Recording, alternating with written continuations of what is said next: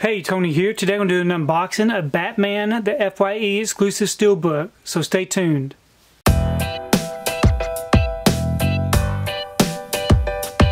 So today I received my order from FYE uh, for Batman. This is the 1989 movie. Steelbook, it's an FYE exclusive.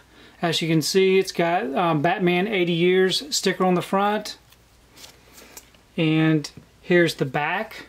If you would like to check up on all the special features, please go ahead and pause and do so. I'm going to go ahead and remove the wrapper and we'll take a closer look at this steelbook. Here is without the wrapper on it. Really nice image on the front with the bat signal.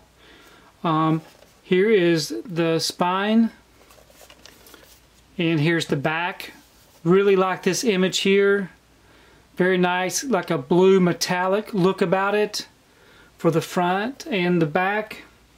Let's go ahead and open it up and we'll take a closer look at the inside. Okay, here it is opened up. Um, it's just a one disc set with the Blu-ray. Um, no digital copy or anything else. We do have some disc art. Let me go ahead and remove the disc and we'll take a closer look at the inside so artwork. here it is without the disc. Got the um, bat signal over there on the left and of course Batman looking out at the bat signal over on the right kind of like a blurry image. It's not very clear, but at least it's some nice inside artwork. I really like the way that the outside looks though.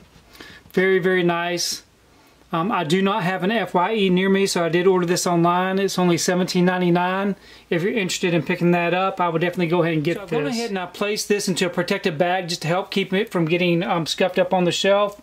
Um, overall, I'm very happy with this steelbook.